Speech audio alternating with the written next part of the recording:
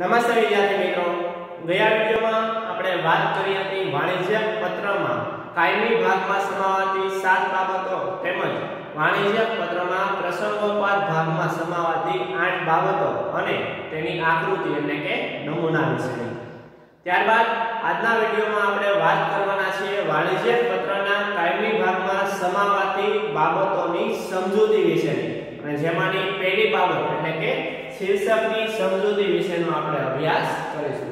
વિદ્યાર્થી મિત્રો, બાબત ખૂબ જ અગત્યની છે, કારણ કે તમે ધોરણ 11 તેમજ 12 માં જે પત્ર લખો છો, એ પત્રમાં ફરજિયાત સ્વરૂપે શીર્ષકમાં કઈ વિગત કઈ રીતે દર્શાવવામાં આવે છે, એ સમજવી અને જાણવી ખૂબ જ જરૂરી છે. એટલા માટે ખૂબ જ અગત્યની બાબત છે શીર્ષક, કે જેને અંગ્રેજીમાં હેડિંગ અથવા તો લેટર હેડ તરીકે પણ ઓળખવામાં આવે છે.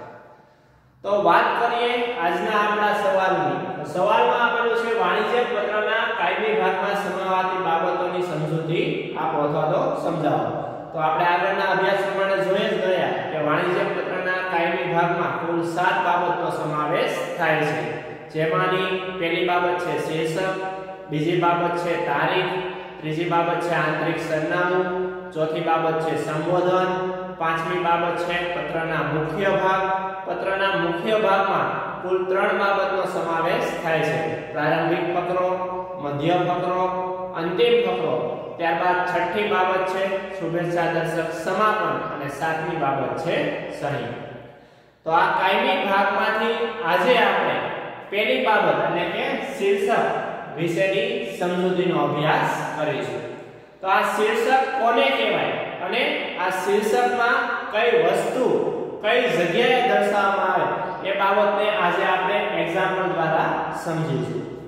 વાણિજ્ય પત્રના મુખ્ય ભાગ પૈકી પહેલા ભાગમાં શીર્ષક દ્વારા પત્ર લખનાર શબ્દ સમજો વિદ્યાર્થી મિત્રો, પત્ર લખનાર સંસ્થા કે પેઢીની ઓળખ પૂરી પાડવામાં આવે છે. એટલે કે જે સંસ્થા અથવા તો જે પેઢી કે જે કંપની પત્ર લખનાર છે. એ પત્ર લખનાર સંસ્થા પોતાની ઓળખ પૂરી પાડે છે. આમ પત્રની શરૂઆત આ ભાગથી જ કરવામાં આવે છે. એટલે કે તમે કોઈ પણ પત્ર લખશો, એ પત્રની શરૂઆત પત્રના શીર્ષકથી જ કરવામાં આવશે. અને આ પત્રના શીર્ષકમાં પત્ર લખનાર પોતાની સામાન્ય ઓળખ પૂરી પાડે છે. પોતાની ઓળખ આપે છે. કેટલીક પેઢી કે સંસ્થા પોતાના લેટર પેડમાં કાયમી બાબત સાથે પોતાની પેઢી કે સંસ્થાનું પ્રતીક, ચિહ્ન લોગો ડાબી કે જમણી બાજુ છપાવે છે. વિદ્યાર્થી મિત્રો ટોપિક ખાસ સમજો કેટલીક પેઢીઓ એટલે કે કેટલીક કંપની કે સંસ્થાઓ પોતાના લેટર પેડ ઉપર કાયમી ભાગની સાથે, કાયમી ભાગ એટલે કે જે શીર્ષકમાં જે બાબતોનો સમાવેશ થાય છે એ કાયમી ભાગ સાથે પોતાના લેટર જમણી બાજુ પોતાની પેઢી કે સંસ્થાનો લોગો પ્રતીક કે ચિહ્ન લગાવે છે. કે જે બાબત અહીં આપણે એક્ઝામ્પલમાં દર્શાવેલી છે. આપણે પત્ર લખનાર તરીકે કઈ પેઢીનું નામ લખેલું છે? એબીસી પ્રાઇવેટ લિમિટેડ તો આજે બીજો ટોપિક છે અને પ્રેક્ટિકલી જોઈએ તો પેઢી સંસ્થાનો લોગો કઈ બાજુ લગાવવામાં આવે છે? ડાબી કે જમણી બાજુ. તો અહીં આપણે દર્શાવેલ છે. ડાબી કે જમણી બાજુમાંથી આપણે ડાબી બાજુએ પેઢીનો લોગો દર્શાવેલ છે, જે તમે કોઈ પણ રીતે દર્શાવી શકો છો. પણ આ લોગો મોટા અક્ષરમાં દર્શાવો. ત્યારબાદ કાગળની વચ્ચેના ભાગમાં પેઢી સંસ્થાનું નામ મોટા અક્ષરે લખવામાં આવે છે. જે અહીં આપણે દર્શાવેલ છે, પેઢી કે સંસ્થાનું નામ મોટા અક્ષરે દર્શાવવાનું રહેશે. આ વાણિજ્ય પત્ર કાળા અથવા તો ભૂરા રંગથી જ લખવામાં આવે છે. વાણિજ્ય પત્ર કયા રંગથી લખવામાં આવે છે શોર્ટ ક્વેશ્ચન તરીકે પૂછાય છે જવાબ આવશે કાળા અથવા તો ભૂરા રંગથી જ લખવામાં આવે છે. પરંતુ પેઢીનું નામ અલગ રંગના અક્ષરથી લખવામાં આવે છે અથવા તો લખી શકાય છે. વિદ્યાર્થી મિત્રો ટોપિક સમજો આગળ આપણે વાત કરીએ કે પેઢીનું નામ પેજની વચ્ચેના ભાગમાં મોટા અક્ષરે લખવામાં આવે છે. એની સાથે જોડાયેલી બાબત છે, કેટલીક વખત પેઢીનું નામ અલગ રંગના અક્ષરથી પણ લખવામાં આવે છે. જ્યાં આપણે લાલ કલરની માર્કરનો ઉપયોગ કરેલો છે. તો તમારે પણ નોટબુકમાં અલગ રંગની પેનનો ઉપયોગ કરવાનો રહેશે. એટલે કે જો બધી ડિટેલ તમે બ્લુ પેનથી દર્શાવતા હો, તો પેઢીનું નામ પેજની વચ્ચેના ભાગમાં મોટા અક્ષરે બ્લેક પેનથી દર્શાવવાનું રહેશે આ વાણિજ્ય પત્ર કેવા રંગથી લખાય છે કાળા અથવા તો ભૂરા રંગથી એટલે કે સમગ્ર વાણિજ્ય પત્ર આખો પત્ર કાળા અથવા તો ભૂરા રંગથી લખાય છે પરંતુ પેઢીનું નામ પેજની વચ્ચેના ભાગમાં મોટા અક્ષરે અલગ રંગના અક્ષરથી પણ લખી શકાય છે. આ પત્રમાં સરનામું ક્રમ અનુસાર લખવું જોઈએ. બાબત ખાસ અગત્યની છે. સૌપ્રથમ પહેલા શું લખવામાં આવે છે? મોટા અક્ષરે પેઢીનું નામ લખવામાં આવે છે. ત્યારબાદ શું લખવામાં આવે છે? પેઢીનું સરનામું. સરનામું ક્રમ અનુસાર લખવું જોઈએ. ક્રમ અનુસાર એટલે કઈ રીતે? તો તમને ખ્યાલ જ છે. આપણે કોઈ જગ્યાએ આપણા ઘરનું એડ્રેસ લખતા હોય હોઈએ છે, ઘર નંબર. ત્યારબાદ સોસાયટીનું નામ અથવા તો એપાર્ટમેન્ટમાં રહેતા હોઈએ છે, તો એપાર્ટમેન્ટનું નામ. ત્યારબાદ જે વિસ્તારમાં રહેતા હોય છે, જે એરિયામાં રહેતા હોય છે, એ વિસ્તાર કે એરિયાનું નામ. અને ત્યારબાદ સિટીનું નામ અને પિનકોડ દર્શાવતા હોય છે. તો સેમ એ જ પદ્ધતિને અહીંયા ફોલો કરવાની છે. સરનામું ક્રમ અનુસાર લખવું જોઈએ. આ ક્રમ અનુસાર એટલે તો કે જેમાં પહેલા સામાન્ય માહિતી, જેવી કે દુકાન નંબર અથવા તો મકાન નંબર, એટલે કે ઘર નંબર, જેમાં બિલ્ડિંગ કે કોમ્પ્લેક્સનું નામ દર્શાવવું જરૂરી છે. ત્યારબાદ વિસ્તારનું નામ, જે વિસ્તારમાં રહેતા હો છો, એ વિસ્તારનું નામ. ત્યારબાદ વિસ્તાર જે પોસ્ટ ઓફિસને અંતર્ગત આવતો હોય, તેનું નામ. એટલે કે તમારા વિસ્તારમાં જે પોસ્ટ ઓફિસ લાગુ પડતી હોય, એ વિસ્તારનું નામ. ત્યારબાદ શહેરનું નામ, અને છેલ્લે પિન કોડ લખવામાં આવે છે. તો એડ્રેસ કઈ રીતે લખવામાં આવે છે? તો સૌપ્રથમ દુકાન ત્યારબાદ વિસ્તારનું નામ, ત્યારબાદ વિસ્તાર, જે પોસ્ટ ઓફિસને અંતર્ગત આવતી હોય તેનું નામ, ત્યારબાદ શહેરનું નામ ને છેલ્લે પિન કોડ દર્શાવવામાં આવે છે. આ પિન કોડ વિદ્યાર્થી મિત્રો ફરજિયાત રીતે તમે ગમે તે શહેરનું નામ દર્શાવો, પરંતુ પિન કોડ ફક્ત ને ફક્ત માત્ર 6 આંકનો દર્શાવવાનો રહેશે. જે અહીં મેં દર્શાવેલો છે પિન કોડ માત્ર કેટલા આંકનો દર્શાવવાનો રહેશે? 6 આંકનો જ દર્શાવવાનો રહેશે. સૌથી વધારે આંકનો પિન કોડ દર્શાવો નહીં. અને આ પિન કોડ કઈ રીતે દર્શાવે એ તમને હું આકૃતિમાં સમજાવીશ. ક્યારેક શહેરના નામને મોટા અક્ષરમાં પણ લખવામાં આવે છે. એટલે કે અહીં જે આપણે શહેરનું નામ લખેલું છે, શહેરનું નામ મોટા અક્ષરે પણ લખી શકાય છે. ફરજિયાત નથી મોટા અક્ષરે લખવું પણ કેટલીક વખત લખી પણ શકાય છે. ત્યારબાદ અન્ય વિગત. અન્ય વિગતમાં કોનો સમાવેશ થાય? તો ટેલિફોન નંબર છે, મોબાઈલ નંબર છે, ઈમેલ એડ્રેસ છે, વગેરે બાબતનો સમાવેશ થાય છે. અન્ય વિગત જેવી કે telephone number, fax number, email address, website વગેરે માહિતી પત્રની જમણી અથવા તો ડાબી બાજુએ. જો ફિક્સ નથી કીધું, તમને જમણી બાજુએ દર્શાવો કે ડાબી બાજુએ દર્શાવો. અન્ય વિગતો કઈ જગ્યાએ દર્શાવાય છે? જમણી અથવા તો ડાબી બાજુએ દર્શાવવામાં આવે છે કે જે અહીં આપણે દર્શાવેલ છે. બે નમૂના આપેલા છે, બે એક્ઝામ્પલ આપેલા છે. બંને એક્ઝામ્પલમાં અલગ અલગ રીત ફોલો કરેલી છે.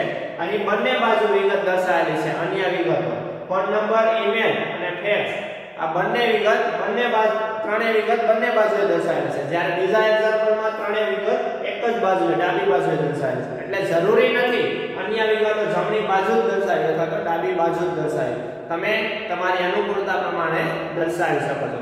પરંતુ આપણે જે પત્ર લખીશું એ પત્રમાં માત્ર એક જ પદ્ધતિ મુજબ દરેક પત્ર લખવાના રહેશે. જેમાં આપણે બીજી પદ્ધતિનો જ ઉપયોગ કરીશું. બીજી પદ્ધતિ મુજબ જ આપણે શીર્ષકની બધી વિગતો દર્શાવીશું. કેટલીક વખત શીર્ષકમાં સંદર્ભ નંબર નો પણ સમાવેશ કરવામાં આવે છે. સંદર્ભ નંબર એટલે શું? તો સંદર્ભ નંબર એટલે કે રેફરન્સ નંબર.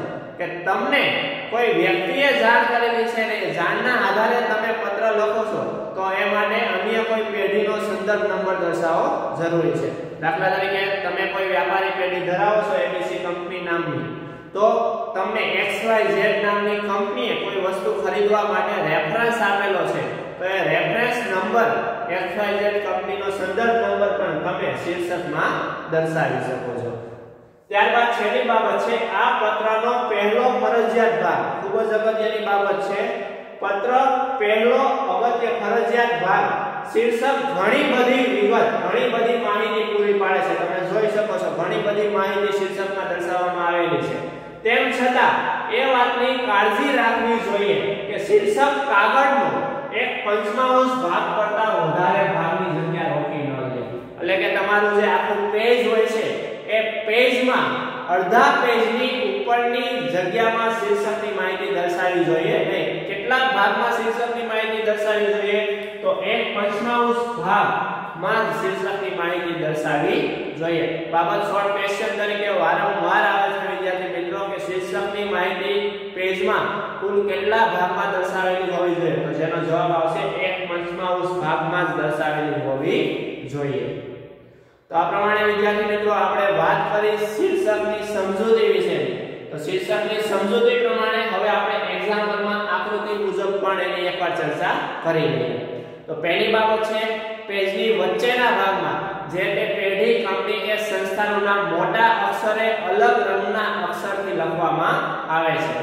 તો અહીં આપણે દર્શાવેલ છે લાલ રંગના માર્કરથી પેઢી કે સંસ્થાનું નામ. ત્યારબાદ કે સંસ્થા કયો વ્યવસાય કરે છે તો એ આપણે કૌંસમાં દર્શાવે છે ઇલેક્ટ્રોનિક સામાનના વિક્રેતા, એટલે કે ઇલેક્ટ્રોનિક સામાનનો વેચાણ કરે છે. ત્યારબાદ જે તે પેઢી સંસ્થા છે એનું સરનામું, તો સરનામા માટે આપણે પદ્ધતિ ફોલો કરવાની કીધી હતી સરનામું ક્રમ અનુસાર જ દર્શાવેલું હોવું જોઈએ. કે જેમાં સૌપ્રથમ આપણે મકાન નંબર અથવા તો દુકાન નંબર દર્શાવવાનો. તો અહીં આપણે 10 દુકાન નંબર દર્શાવે છે, જે ક્યાં આવે છે? શિવ ચેમ્બર્સ. આ સેવ ચેમ્બર્સ ક્યાં આવે છે? તો એસટી બસ સ્ટેન્ડની પાછળ. અને કયા સિટીમાં આવે છે? તો સિટીમાં દર્શાવે છે સુરત સિટી. સુરત સિટી બાદ 6 આંકડાનો પિન કોડ દર્શાવે છે. પિન કોડ માટે ખાસ ધ્યાન રાખજો, વિદ્યાર્થી મિત્રો. પિન કોડ કેટલા આંકડાનો દર્શાવવાનો રહેશે? ફરજિયાત 6 આંકડાનો જ દર્શાવવાનો રહેશે. પણ જ્યારે તમે સુરત સિટી દર્શાવો, તો પહેલા બે આંક 39 દર્શાવો. અને પાછળના ચાર અંક તમે ગમે તે દર્શાવી શકો છો. ફરી એકવાર બોલું છું, સુરત સિટી માટે પહેલા બે આંક 39 દર્શાવવા અને પાછળના ચાર અંક તમે ગમે તે દર્શાવી શકો છો. હવે વાત કરીએ સુરત સિવાયનો સિટી દર્શાવો તમે. દાખલા તરીકે રાજકોટ છે, જામનગર છે, વડોદરા છે, આવા અલગ અલગ પ્રકારના કોઈ પણ સિટી દર્શાવો. તો એ સમયે પહેલો આંક ત્રણ દર્શાવો. અને પાછળના પાંચ આંક ગમે તે દર્શાવી શકો છો. સુરત સિવાયના સિટી હોય તો પહેલો આંક 3 દર્શાવો અને પાછળના પાંચ આંક તમે ગમે તે દર્શાવી શકો છો. ત્યારબાદ વાત કરવાની છે અન્ય વિગતોની. તો અન્ય વિગતો કઈ બાજુ દર્શાવે છે? ડાબી અથવા તો જમણી બાજુ. જેમાં કોનો સમાવેશ થાય છે? તો ટેલિફોન નંબર છે, મોબાઈલ નંબર છે, ઈમેલ આઈડી છે, ફેક્સ છે વેબસાઈટ છે વગેરેનો સમાવેશ થાય છે. તો અહીં આપણે ફોન નંબર ફોન નંબર ને ટેલિફોન નંબર તરીકે પણ ઓળખાય છે. મોબાઈલ નંબર નહીં, સમજજો. ફોન નંબર એટલે ટેલિફોન નંબર. ટેલિફોન નંબર અને મોબાઈલ નંબર બંને અલગ અલગ હોય છે. તો ફોન નંબર, ટેલિફોન નંબર લખવા માટે લેન્ડલાઇન ફોન નંબર લખવો જરૂરી છે. જે કોના આધારે લખાય છે? સિટીના નામના આધારે. આપણે સુરત સિટી દર્શાવેલું છે, તો એનો ટેલિફોનનો કોડ કયો છે? 0261 જો અહીં તમે બીજું કોઈ સિટીનું નામ દર્શાવો તો એ પ્રમાણે તમે કોઈ પણ 3 કે 4 આંકનો કોડ લખી શકો છો. પણ એક જ બાબત ધ્યાનમાં રાખવાની જે ટેલિફોન નંબર હોય છે, ફરજિયાત કેટલા આંકનો દર્શાવવાનો હોય છે કોડ સાથે 11 આંકનો દર્શાવવાનો હોય છે. ફોન નંબર છે, એ કોડ નંબર સાથે કુલ 11 આંકનો થવો જોઈએ. તો અહીં આપણે 4 આંકનો કોડ દર્શાવે છે 0261 સિટીના નામના આધારે. અને ત્યારબાદ કોઈ પણ 7 આંક દર્શાવી દેવાના, કોઈ પણ. એમ કરીને કુલ કેટલા થવા જોઈએ? 11 ત્યારબાદ ફેક્સ નંબર દર્શાવેલો છે, ફોન નંબરની લીટી છે, એજ લીટીમાં. ફેક્સ નંબર માટે પણ સેમ એ જ પદ્ધતિ છે, જે કોડ અહીં દર્શાવેલો છે, સિટીના નામના આધારે. એજ કોડ અહીં દર્શાવેલો અને જે અહીં સાત આંકડા દર્શાવેલા છે, તમારે એમાં માત્ર છેલ્લા અંકમાં ફેરફાર કરી દેવાનો. દાખલા તરીકે અહીં આપણે 6 દર્શાવેલા છે, તો કેટલા દર્શાવ્યા? 7 એમ કરીને ફેક્સ નંબર પણ કુલ કેટલા અંકનો થવો જોઈએ? 11 અંકનો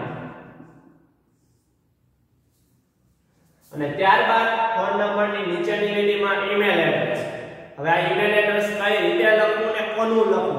ખાસ સમજો ઈમેલ એડ્રેસ ફરજિયાત દરેક પત્રમાં દર્શાવવું જરૂરી છે ના ઈમેલ એડ્રેસ હંમેશા માટે સ્મોલ અક્ષરમાં જ દર્શાવવું કેપિટલ અક્ષરનો ઉપયોગ કરવો નહીં. તો અહીં પત્ર લખનાર જે પેઢી હોય છે, પેઢીના નામની આધારે ઈમેલ એડ્રેસ દર્શાવવામાં આવે છે. આપણે લખેલું છે એબીસી પ્રાઇવેટ લિમિટેડ એના આધારે ઈમેલ એડ્રેસ બનાવેલું છે ABC પ્રાઇવેટ માટે P લિમિટેડ માટે L અને ત્યારબાદ કોઈ પણ બે આંક દર્શાવો. ફરજિયાત. ઈમેલ એડ્રેસમાં નામ દર્શાવ્યા બાદ કોઈ પણ બે આંક દર્શાવો. જેથી 1 99 સુધીના કોઈ પણ આંકનો ઉપયોગ તમે કરી શકો છો. આંક દર્શાવ્યા બાદ દરેક ઈમેલમાં @gmail.com દર્શાવવું જરૂરી છે. અથવા તો @yahoo.com દર્શાવવું જરૂરી છે. અને આપણે વાત કરી હતી લોગો વિશેની, તો ડાબી કે જમણી બાજુ લોગો દર્શાવવામાં આવે છે. તો આ નામના આધારે આપણે લોગો દર્શાવેલો છે ABC PVT L3D ABC private limited વિદ્યાર્થી મિત્રો, આ શીર્ષકની વાત કરી, પરંતુ આપણે જ્યારે વાણિજ્યક પત્ર લખીએ છીએ, તો એ વાણિજ્યક પત્રમાં શીર્ષક હંમેશને માટે બીજી પદ્ધતિ જે આપણે નીચેની દર્શાવે છે, એ મુજબ જ દર્શાવો. જેમાં માહિતીને બે વિભાગમાં વહેંચેલી છે. જે આપણે મોડિફાઈડ બ્લોક શૈલીનો નમૂનો જોયેલો હતો. એ શૈલીના નમૂના મુજબ આપણે વાણિજ્ય પત્રકમાં શીર્ષકની માહિતી દર્શાવી છે. જેમાં સૌપ્રથમ કંપનીનું નામ પેજની વચ્ચે દર્શાવવું ત્યારબાદ એનું એડ્રેસ પેજની જમણી બાજુ દર્શાવવું યાદ રાખવામાં ખૂબ સરળ રહેશે બીજી પદ્ધતિ. પહેલી પદ્ધતિ કરતાં બીજી પદ્ધતિ ખૂબ જ સરળ છે. કારણ કે માહિતીને બંને વિભાગમાં ડાબી અને જમણી એમ બંને વિભાગમાં વહેંચેલી છે એટલા માટે. સૌપ્રથમ પેઢી કે સંસ્થાનું નામ પેજની વચ્ચે દર્શાવવું ત્યારબાદ એનું એડ્રેસ પેજની જમણી બાજુ દર્શાવવું અહીં જોઈ શકો છો આપણે એડ્રેસ જે વચ્ચેના ભાગમાં દર્શાવેલું હતું અને જે વ્યવસ્થિત પણ દેખાતું નથી, કારણ કે બધી લીટીઓ સરખી નથી. જ્યારે અહીં એડ્રેસ વ્યવસ્થિત દેખાય છે, કારણ કે બધી બાબતો એક સરખી લીટીમાં એક સાથે દર્શાવેલી છે લાઈનમાં. તો એડ્રેસ પેજની જમણી બાજુ દર્શાવવું જેમાં આપણે દર્શાવે છે 10 શિવમ ચેમ્બર્સ એસટી બસ સ્ટેન્ડની પાછળ, કયા સિટીમાં સુરત સિટી ને 6 આપનો પિન કોડ. ખાસ ધ્યાન રાખજો એડ્રેસ હંમેશા સીધી લીટીમાં દર્શાવેલું હોવું જોઈએ. ત્યારબાદ પેજની ડાબી બાજુ અન્ય વિગતો દર્શાવવાની છે. અન્ય વિગતોમાં આપણે દર્શાવેલ છે phone number code STD code સાથે ફેક્સ નંબર કોડ સાથે, અને છેલ્લે email address ABC private limited જે નામ છે નામના આધારે સ્મોલ અક્ષરમાં abcpl88@gmail.com ખાસ ધ્યાન રાખજો વિદ્યાર્થી મિત્રો, આપણે પત્રમાં જે શીર્ષકની વિગતો દર્શાવીશું, એ હંમેશા કઈ બાબત બીજી પદ્ધતિ મુજબ જ દર્શાવવાની રહેશે. પણ તમને જ્યારે એક્ઝામમાં શીર્ષક વિશેની સમજૂતી આપો એવું પૂછાય ત્યારે સમયે તમારે બંને આકૃતિઓ દોરવાની રહેશે. આપણે માત્ર પત્રમાં જ બીજી પદ્ધતિ ફોલો કરવાની છે. તો આ પ્રમાણે આજના વિડીયોમાં આપણે વાત કરી શીર્ષક વિશેની. આગળના વિડીયોમાં આપણે વાત કરશું કાયમી ભાગમાં સમાવાતી બાબતોના બીજી બાબત, એટલે કે તારીખ વિશેની. હરિઓમ વિદ્યાર્થી